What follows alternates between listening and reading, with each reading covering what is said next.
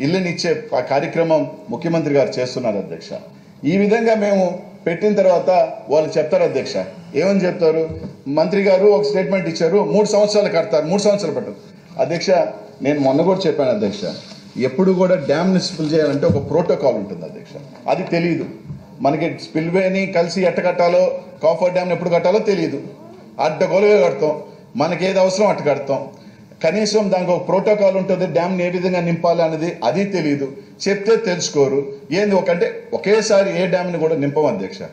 First నింపాలంటే అధ్యక్ష ఎప్పుడు కూడా దానికి ఒక ప్లానింగ్ ఉంటుంది ఇంప్లిమెంటేషన్ ఉంటుంది అధ్యక్ష. అది కూడా డ్యామ్ సేఫ్టీకి సంబంధించి ఏ విధంగా చేస్తా ఉంది అధ్యక్ష. అధ్యక్ష ఎప్పుడు కూడా ఫస్ట్ ఒక రిజర్వాయర్ని ఎండిడిఎల్కి దాకా ఫిల్ చేస్తాం అధ్యక్ష. అంటే మినిమం డ్రా లెవెల్ దాకా చేస్తాం అధ్యక్ష.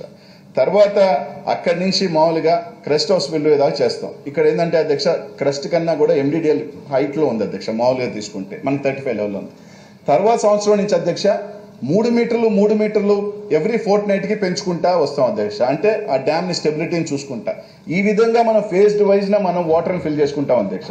అదే క్రమంలో ఈ రోజు మనం ఆర్ అండ్ ఆర్ కానీ ఈ విధంగా చేయాలన్న ఒక ఆలోచనతో ఈ రోజు మనం చేసే కార్యక్రమం మనం చేస్తా ఉన్నాం అధ్యక్ష. ఇట్లాంటి ఒక ప్లానింగ్ ఎగ్జిక్యూషన్తో ఈ ప్రభుత్వం ఎక్కడ కూడా చిన్న పొరపాటు రాకుండా ఉండాలి ఎక్కడా కూడా చిన్న పొరపాటు రాకుండా ఉండాలి అని చెప్పి ఈరోజు ఈ ప్రభుత్వం ఇన్ని ఇన్ని రకాలుగా చిత్తశుద్ధులు తీసుకుంటా ఉంటే అధ్యక్ష ఆర్ఎన్ఆర్ సంబంధించి అధ్యక్ష ఈ ప్రభుత్వం ఏంటంటే మొన్న చెప్తారు అధ్యక్ష కేంద్ర మంత్రి జగన్మోహన్ రెడ్డి గారు ముఖ్యమంత్రి గారు మేము పెట్టిన మేము వెళ్ళిన కాలనీని ఓపెన్ చేశారని ఇంత అబద్ధమైన మాటలు చెప్తారు అధ్యక్ష. మాజీ ముఖ్యమంత్రిగా ఉండి కనీసం మీరు ఒక కాలనీని ఓపెన్ చేయకుండా దాన్ని తీసుకువచ్చి మేమే ఓపెన్ మేము కట్టిన కాలనీని ఓపెన్ చేసి వెళ్ళి చూపించుకొని స- ఇది అనుకున్నారు అధ్యక్ష. ఆ కాలనీకి సంబంధించి కూడా ఈరోజు ఈ- ఈ సభ ద్వారా తెలియజేస్తున్నాం అధ్యక్ష. ఆ సంబంధించి అధ్యక్ష ఏనుగుల గూడెం అగ్రహారం మనుటూరుకు సంబంధించి ఇందుకూరుపేటలో ఉన్న కాలనీ అధ్యక్ష ఈ ఈ ప్రభుత్వం జగన్మోహన్ రెడ్డి గారు ముఖ్యమంత్రి అయిన తర్వాత అధ్యక్ష మొత్తం వాళ్ళకి దాదాపు మూడు వందల యాభై కుటుంబాలకు సంబంధించి అధ్యక్ష ఈరోజు ఈ ప్రభుత్వం వచ్చిన తర్వాత ఫిబ్రవరి ఇరవై ఇరవై ఇరవై ఒకటిని షిఫ్ట్ చేయడం జరిగింది అధ్యక్ష. ఈరోజు ఈ ప్రభుత్వం ఇరవై ఇరవై ఒకటి మన ముఖ్యమంత్రి గారు వచ్చిన తర్వాత దాదాపు ఇరవై ఆరు కోట్ల రూపాయలు ఈ ప్రభుత్వం మొత్తం అందరికీ కూడా ఆర్ అండ్ ఆర్ ఇచ్చి కంప్లీట్ చేసింది ఈ ప్రభుత్వం అయితే అధ్యక్ష. మేం చేసామని చెప్పుకుంటాను. ఇంతకన్నా సిగ్గుంది అధ్యక్ష వాళ్ళకి? ఇంతకన్నా అబద్ధాలు ప్రతి ఒక్క దాంట్లో ఏమన్నా అంటే నేను సోమవారం సోమవారం పోయాను. సోమవారం సోమవారం పోయి దేనికని దేనికని నరేంద్ర మోడీ గారు చెప్పినట్టు ఏటీఎం గా వాడుకున్నారు తప్ప దానికి వెళ్ళటం వెళ్ళారు అనిపిస్తుంది తప్ప ఒక చిత్తశుద్ధి ఎక్కడుంది అధ్యక్ష? ఈ రోజు వాళ్ళు చేసిన అన్ని పొరపాట్లు అధ్యక్ష. ప్రతి ఒక్కటి కూడా ఈ రోజు మనం చూస్తే అధ్యక్ష ఈ రోజు మళ్ళీ చెప్తున్నాను అధ్యక్ష ఈ రోజు ఏదైతే ఒక అంగుళం కానీ కూడా తగ్గించారు పరిస్థితి లేదు. ఆ విధంగా ఈరోజు మా ముఖ్యమంత్రి గారు ఆదేశాలు ఇచ్చారు. అధికారులు అందరూ కూడా ఎప్పటికెప్పటికి పనిచేస్తూ ఉన్నారు.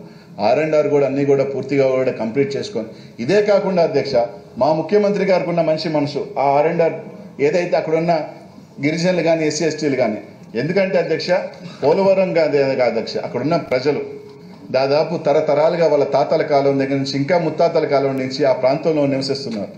ఈరోజు ఈ పోలవరం ప్రాజెక్ట్ కోసం దాదాపు లక్ష కుటుంబాలు పైగా లక్ష కుటుంబాలు పైగా ఈ రాష్ట్రంలో దాదాపు ఏడు లక్షల కొత్త ఆయకట్టు ఆయకట్టు అయితే కానీ దాదాపు ఇంకొక ఇరవై మూడు లక్షల స్టెబిలైజేషన్ అయితే కానీ ఇరవై మూడు లక్షల పైగా ఏదైతే ఈ రోజు ఎంతో మందికి మంచినీళ్ళు అందించేదానికి కానీ ఈ విధంగా పోలవరం ఇండస్ట్రీలకు కానీ ఈ విధంగా పోలవరం ప్రాజెక్టు పూర్తవుతుంటే దానికి లక్ష మంది కుటుంబాల త్యాగం ఉంది అధ్యక్ష. దాంట్లో దాదాపు డెబ్బై ఐదు శాతం మంది ఎస్టీలు ఉన్నారు అధ్యక్ష బీసీలు ఉన్నారు అధ్యక్ష ఎస్సీలు ఉన్నారు ఎనభై ఎనభై నుంచి తొంభై శాతం వీళ్ళు ఉన్నారు.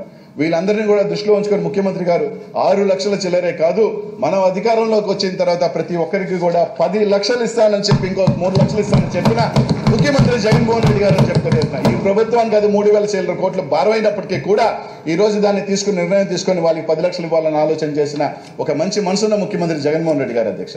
దాన్ని కూడా విమర్శ చేసే పరిస్థితిలో వీళ్ళు ఉన్నారంటే వీళ్ళు కనీసం ఒక రూపాయి కూడా ఇవ్వకుండా కనీసం వాళ్ళకి ఒక ఇల్లు కట్టకుండా కనీసం వాళ్ళు ఏ రోజు కూడా ముంచ నీళ్ళల్లో ముంచేయాలని చూసిన వీళ్ళు ఈరోజు దాని గురించి కూడా విమర్శ చేస్తున్నారంటే ఇంతకన్నా దౌర్భాగ్యం.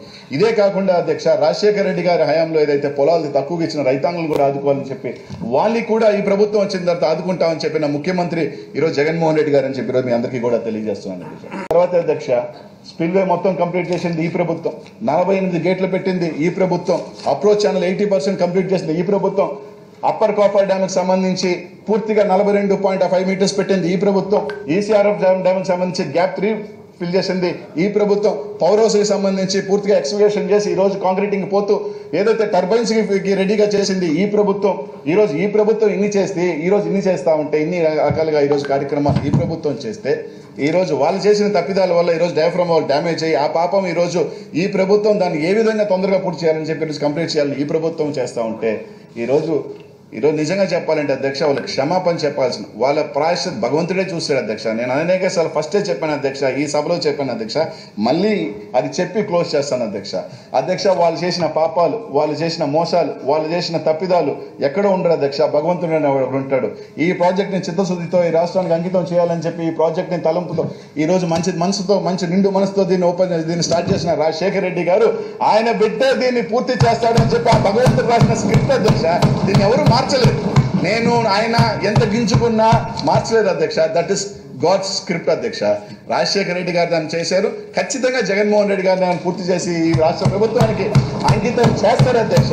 భగవంతుడు రాసిన స్క్రిప్ట్ అనేక సార్లు చెప్పాను అధ్యక్ష నేను. మళ్ళీ చెప్తా ఉన్నా మేము ఇన్ని చేసాం అన్ని చేసామని చెప్పుకుంటున్నాను మీ ఇరవై సంవత్సరాల జీవితంలో. ఒక్కటంటే ఒకటి రాష్ట్రంలో ఇది నా కంప్లీట్ హండ్రెడ్ పర్సెంట్ పేటెంట్ ఉన్న ఇరిగేషన్ ప్రాజెక్టు.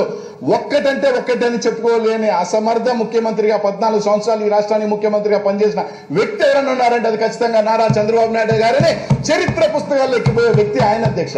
అనేక ప్రాజెక్టులు ఏదైతే రాజశేఖర రెడ్డి గారు స్టార్ట్ చేశారని కూడా ఖచ్చితంగా జగన్మోహన్ రెడ్డి గారే పూర్తి చేస్తారని చెప్పి తెలియజేసుకుంటూ నిజంగా వాళ్ళ దౌర్భాగ్యం ఈ రోజు ఇందాకే ఒకరు ఇచ్చారు అధ్యక్ష. ఆయన ప్రభుత్వంలో తొంభై ఆరులో ఆయన ముఖ్యమంత్రి అయిన తర్వాత ఒక వ్యక్తి ఆయన ఎమ్మెల్యే ఇక్కడ నుంచి ఢిల్లీ దాకా మూడు వేల కిలోమీటర్ల సైకిల్ దొక్కి పోలవరం కట్టవయా బాబు అంటే కూడా ఇది పోలవరం చేత కాదు కట్టలేను అని చెప్పి చేతులు ఎత్తేసిన వ్యక్తి ఆ వ్యక్తి అధ్యక్ష. అదే వ్యక్తి రెండు వేల ఆరులో రాజశేఖర రెడ్డి గారు ముఖ్యమంత్రి అయిన తర్వాత ఈ పార్టీ రాజశేఖర రెడ్డి గారి హయాంలో చేరి ఈ చంద్రబాబు నాయుడు అడ్డు చెప్తున్నాడని చెప్పి గుండు కొట్టించుకున్నారు అధ్యక్ష. అట్లాంటి చరిత్ర అధ్యక్ష. కాబట్టి ఈరోజు భగవంతుడు ఉన్నాడు. తప్పకుండా వీళ్ళు ఎన్ని కుట్రలు కుతంత్రాలు పన్నినా తప్పకుండా ఈ టీవీ ఫైల్ ఆంధ్రజ్యోతులు ఎన్ని రాసుకున్నా ఎన్ని గీక్కున్నా ఏం చేసుకున్నా అధ్యక్ష ఎవరు ఏమి పీకలేరు అధ్యక్ష.